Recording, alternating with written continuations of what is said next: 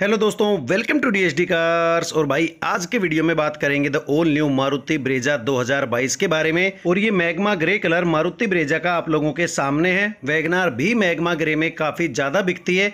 और ये कहें कि वैगनार का टॉप सेलिंग कलर है मैगमा ग्रे तो ये कलर ब्रेजा में क्या कुछ कमाल करेगा? और इस कलर में इस गाड़ी की कैसी क्या लुक लग रही है, वो आप भाई कमेंट करके ज़रूर बता देना।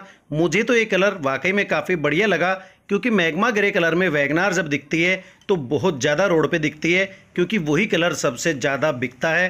फ्रंट लुक की अगर बात करें मारुति ब्रेजा की तो पहले से काफ़ी अलग यहाँ पे आपको मिलती है। वी वेरिएंट में हेलोजन प्रोजेक्टर हेडलैम्प्स आपको मिल जाते हैं। सिल्वर गार्निश का यूज़ किया गया है। पार्किंग लाइट और जो टर्न इंडिकेटर है, वो आपको यहाँ पे मिल जाता है। फोक लैंप्स इस वेरिएंट में आपको नहीं मिलते हैं। और नीचे कोई भी सिल्वर कलर की जो स्किड प्लेट है वो आपको नहीं मिलती है इस गाड़ी में। ग्रे स्टोन के साथ में जो ग्रिल है, वो मिलती है और ऊपर क्रोम फिनिश का भी जो यूज़ है, वो आपको गाड़ी में मिल जाता है। और वी वेरिएंट की जो कीमत है, वो काफ़ी ज़्यादा है उस हिसाब से, जितने की इस गाड़ी में फीचर्स हैं। लेकिन फिर भी काफ़ी लोग भाई वी वेरिएंट को पसंद कर रहे हैं और वो इसलिए कि सारी चीज़ें जो है, वो आपको कंपनी फिटेड यहाँ पे मिल जाती है। बाहर से एसेसरी वगैरह लगवाने पे जो वारंटी है, उसके ख़त्म होने का डर होता है और अगर फिटिंग सही से नहीं हुई तो आपकी गाड़ी में भाई दिक्कतें आनी शुरू हो जाती है। तो अगर आप भी अपनी गाड़ी में कंपनी फिटेड एसेसरीज लेना चाहते हैं तो भाई VXI वेरिएंट की तरफ़ आप जा सकते हैं। VXI वेरिएंट में आपको 16 इंच के ब्लैक कलर के स्टील रिम और व्हील कवर के साथ में टायर्स मिल जाते हैं। चौड़ी चौड़ी जो क्लेडिंग है, वो गाड़ी के चारों तरफ़ आपको मिलती है। 200 सौ mm की ग्राउंड क्लियरेंस मिल जाती है। एबीएस और ईबीडी के साथ में रियर में ड्रम और फ्रंट में डिस्क ब्रेक्स आपको मिलते हैं। बॉडी कलर में ही ORVM से दिए गए और एलईडी टर्न इंडिकेटर उन्हीं के ऊपर प्लेस किए गए ए बी और सी तीनों ही पिलर्स आपको ब्लैकआउट किए हुए इस गाड़ी में मिल जाते हैं। बॉडी कलर में ही डोर हैंडल्स मिलते हैं। और अगर साइड लुक की बात करें तो साइड से भी देखने पे काफ़ी बढ़िया लुक आपको ब्रेजा की मिलती है। और ये है आप लोगों के सामने मारुति ब्रेजा की रियर लुक और मैगमा ग्रे कलर में कैसी क्या लुक लगती है, वो यहाँ पे आप देख सकते हैं। एलईडी में ही जो टेल लैंप्स हैं, वो आपको मिलते हैं। Split tail lamps turn indicator और जो बैक गियर की लाइट है, वो पीछे आपको मिल जाती है। ब्लैक कलर में आपको लोअर बम्पर मिलता है, जिसके के ऊपर पार्किंग सेंसर्स और जो रिफ्लेक्टर्स हैं, वो प्लेस किए गए कोई भी रिवर्स कैमरा आपको गाड़ी में नहीं मिलता है। ब्रेजा की जो बैजिंग है, वो पीछे दी गई है और डिफोगर्स आपको वी वेरिएंट में मिल जाते हैं। एलएक्सआई में ये फीचर आपको नहीं मिलता है और शायद ना ही आप बाहर से इसको ऐड करा सकते हैं। आपको स्मार्ट हाइब्रिड की जो बैजिंग है वो भी मिल जाती है, क्योंकि इस गाड़ी में स्मार्ट हाइब्रिड की जो टेक्नोलॉजी है वो यूज़ की गई है और एक एक्स्ट्रा बैटरी को ड्राइवर सीट के नीचे आपको मिल जाती है।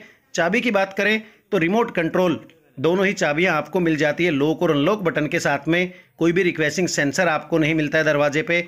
ब्लैक कलर का जो इंटीरियर है वो दरवाजे पे मिलता है। फैब्रिक टाइप मटेरियल का जो यूज़ है वो दरवाजे पे किया गया है ग्रीपर दिया गया है। चारों ही पावर विंडोज़ मिल जाती है पावर एडजस्टेबल और पावर फोल्डेबल ओ आपको मिल जाते हैं और ये बटन दबा के आप ओ को फोल्ड अनफोल्ड कर सकते हैं। चारों ही पावर विंडोज़ मिल जाती है और जो ड्राइवर विंडो है, वो one touch up one touch down और एंटी पिंच फीचर के साथ में आपको मिल जाती है।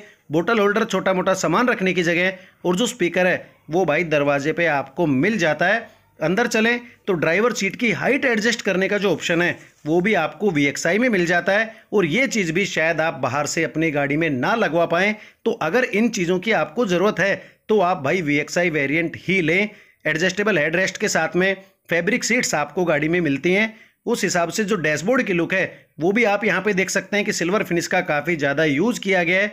ड्राइवर के राइट साइड में ट्रैक्शन कंट्रोल का बटन, आइडल स्टार्ट स्टॉप का बटन और जो लाइट के कंट्रोल्स हैं, वो दिए गए सिल्वर फिनिश के सराउंडिंग के साथ में एसी वेंट्स आपको मिल जाते हैं और ये है इस गाड़ी का एमआईडी मीटर जो कि सेमी डिजिटल आपको मिलता है। स्पीडोमीटर और आरपीएम मीटर एनालॉग दिखते हैं। उसके अलावा बाकी की जो सारी इन्फॉर्मेशन हैं, वो आपको डिजिटली दिख जाती है। और जो बैटरी का निशान है, वो भी आप यहाँ पे देख पा रहे हैं। यानी कि जो को ड्राइवर सीट के नीचे बैटरी रखी गई है, वो कितनी चार्ज है, वो यहाँ पे आपको पता लग जाता है। आउटसाइड टेम्परेचर डिस्प्ले भी आपको यहाँ पे एम में दिख जाती है और जो टाइम है वो भी डिजिटली आप देख सकते हैं।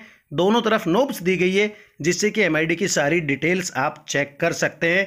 स्टेयरिंग की बात करें तो साउंड कंट्रोल्स और टेलीफोनिक कंट्रोल्स के साथ में जो स्टेयरिंग है वो आपको मिलता है। क्रोम फिनिश का बढ़िया यूज़ किया गया है। डी कट सेप स्टेयरिंग आपको मिलता है और ड्यूअल एयरबैग के साथ में गाड़ी आती है। क्रूज कंट्रोल्स आपको इस गाड़ी में भाई नहीं मिलते हैं। वो आपको जेडएक्सआई या टॉप मॉडल में ही मिल सकते हैं। स्टेयरिंग की बात करें तो स्टेयरिंग को आप टिल्ट एडजस्ट कर सकते हैं। टेलीस्कोपिक एडजस्टमेंट का कोई भी ऑप्शन आपको यहाँ पे नहीं मिलता है। सेंटर कंसोल पे चलें तो आपको मिलता है सात इंच का टच स्क्रीन इन्फोटेनमेंट सिस्टम चार स्पीकर्स के साथ में। ये system Android Auto Apple CarPlay और यूएसबी ब्लूटूथ आदि फीचर्स से कनेक्ट हो सकता है। तो ये काफ़ी अच्छी चीज़ आपको यहाँ पे मिलती है कि कंपनी फिटेड जो स्टीरियो है वो गाड़ी में मिल जाता है। सिल्वर फिनिश का भी काफ़ी बढ़िया यूज़ किया गया है। गेयर नोब के बिल्कुल पीछे तक। ऑटो क्लाइमेट कंट्रोल आपको वीएक्सआई वेरिएंट में मिल जाता है, जबकि एल में आपको मैनुअल क्लाइमेट कंट्रोल मिलता है और सारे जो बटन्स हैं, वो यहाँ स्टाइलिश आप देख सकते हैं। यूएसबी और 12 वोल्ट का जो एसेसरी आउटलेट है, वो गाड़ी में दिया गया है। छोटा मोटा सामान रख सकते हैं। फाइव स्पीड मैनुअल ट्रांसमिशन के साथ में गाड़ी आती है। दो कप होल्डर छोटा मोटा सामान रखने की जगह और पीछे भी आपको छोटा मोटा सामान रखने की जो जगह है, वो मिल जाती है। नॉर्मल ग्लोबॉक्स कंपार्टमेंट आपको यहाँ पे मिलता है। मैनुअली एडजस्टेबल डे नाइट आई दिया गया है। फ्रंट में आपको माइक्रोफोन दिया गया है, लेकिन फ्रंट लाइट आपको भाई इस गाड़ी में भी नहीं मिलती है। को ड्राइवर साइड में आपको जो वैनिटी मिरर है, वो फ्लिप कवर के साथ में मिल जाता है। फोल्डेबल ग्रैब हैंडल्स दिए गए हैं और सेंटर कैबिन में जो लाइट है, वो आपको गाड़ी में मिल जाती है। ये था इस गाड़ी का फ्रंट कैबिन वी वेरिएंट में काफ़ी अच्छी जो लुक है डैशबोर्ड की, वो आपको मिलती है सिल्वर फिनिश के साथ में। रियर की बात करें तो रियर दरवाजे पे भी ब्लैक कलर का इंटीरियर मिलता है। ब्लैक कलर में ही डोर हैंडल्स दिए गए हैं। पावर विंडो का कंट्रोल बोटल होल्डर और जो स्पीकर है, वो आपको पीछे दरवाजे पे भी मिल जाता है। और भाई, ये है इस गाड़ी की रियर सीटिंग तो रियर सीटिंग काफ़ी बढ़िया है। ब्रेजा की स्पेस काफ़ी बढ़िया मिलता है। एडजस्टेबल हेडरेस्ट आपको मिल जाते हैं। सेंटर आर्मरेस्ट या जो कप होल्डर्स हैं, वो आपको नहीं मिलते हैं। और ना ही रियर पार्सल ट्रे आपको यहाँ पे मिलती है। बेंच फोल्ड सीट आपको मिलती है, जो कि सिर्फ़ इतना ही फोल्ड हो सकती है। अगर स्पेस की बात करें तो मारुति ब्रेजा में जो स्पेस है, वो भाई पूरा मिलता है। लेग रूम हो या थाई स्पोर्ट हो, कोई भी स्पेस का इश्यू आपको नहीं होता है। रियर एसी वेंट भी गाड़ी में दिए गए हैं। पहले लोगों की शिकायत रहती थी कि इतनी बड़ी गाड़ी है, लेकिन रियर एसी वेंट नहीं है तो ये कमी भी मारुति ने भाई यहाँ पे पूरी कर दी है। रियर सीट पे बैठने के बाद जो डैशबोर्ड की लुक है, वो कुछ आपको इस तरीके की दिखती है। स्टीरियो वगैरह है, जो सिल्वर फिनिश का यूज़ है, उससे काफ़ी बढ़िया जो डैशबोर्ड की लुक है, वो आपको भाई ब्रेजा में लग सकती है। अब बात कर लेते हैं मारुति ब्रेजा के बूट की तो रिक्वेस्टिंग सेंसर के साथ में जो बूट है, वो आपको मिल जाता है। 328 लीटर का बूट स्पेस ब्रेजा में दिया गया है। तो बूट स्पेस के मामले में काफ़ी बढ़िया गाड़ी आपके लिए साबित हो सकती है। Child seat, anchor, mount points आपको मिल जाते हैं। दोनों ही साइड में स्पेस मिलता है, हैंगिंग हुक मिलता है, लेकिन जो लाइट है, वो आपको गाड़ी में नहीं मिलती है। और बूट फ्लोर के नीचे आपको मिलता है 16 इंच का स्पेयर व्हील, जो कि ब्लैक कलर का स्टील रिम है, साइज़ में और कलर में बाकी के टायर्स जैसा ही आपको यहाँ पे मिलता है। फ्रंट से लेकर रियर तक की जो गाड़ी की लुक है वो यहाँ से आप देख सकते हैं कि एडजस्टेबल हेडरेस्ट लगने से कितनी अलग लुक हो जाती है, क्योंकि एलेक्साई में आपको किसी भी तरह का कोई हेडरेस्ट सीट पे नहीं मिलता है पीछे।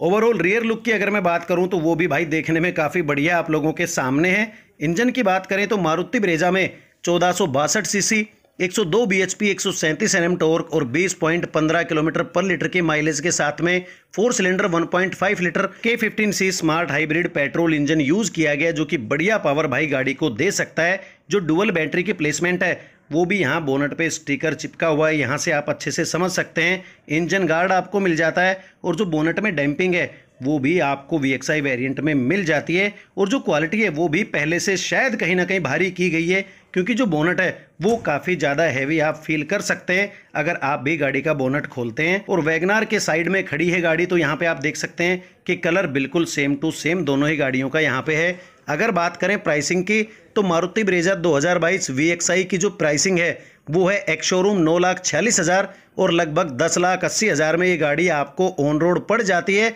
तो आपको एलएक्सआई और वीएक्सआई में जो फ़र्क मिलता है, वो मिलता है लगभग डेढ़ लाख का और उस हिसाब से जो फीचर्स हैं, वो शायद वीएक्सआई वेरिएंट में नहीं है, लेकिन फिर भी अगर आपको रियर डिफोगर्स चाहिए टच स्क्रीन चाहिए कंपनी फिटेड, फोर स्पीकर्स चाहिए कंपनी के, ड्राइवर सीट हाइट एडजस्टमेंट के साथ में चाहिए, रियर सीट के हेडरेस्ट चाहिए, इलेक्ट्रिकल फोल्डेबल ओ चाहिए, ऑटो क्लाइमेट कंट्रोल चाहिए तो आप भाई सीधे सीधे वी एक्स वेरियंट की तरफ़ जा सकते हैं। क्योंकि इनमें से कई चीज़ें आप आफ्टर मार्केट नहीं लगवा सकते हैं और आफ्टर मार्केट लगी हुई कई सारी चीज़ें बाद में भाई दिक्कत भी देने लग जाती है। ये भी एक बड़ा फैक्ट है। तो अगर आपका बजट कम है तो आप एलेक्साई वेरिएंट ले लीजिए और शोरूम से ही जो स्टीरियो वगैरह है, बाकी एसेसरीज़ हैं, वो लगवा लीजिए तो भी आपको काफ़ी बढ़िया गाड़ी कम कीमत में पड़ सकती है। और अगर आप चाहते हैं कि कंपनी फिटेड एसेसरीज आप लें तो भाई वी एक्स आई वेरियंट भी आप लोगों के लिए अच्छा साबित हो सकता है। तो ये चॉइस आपकी है कि आप एलेक्साई लेते हैं वी लेते हैं, क्योंकि पैसा आपका है तो चॉइस भी भाई आपकी ही होगी।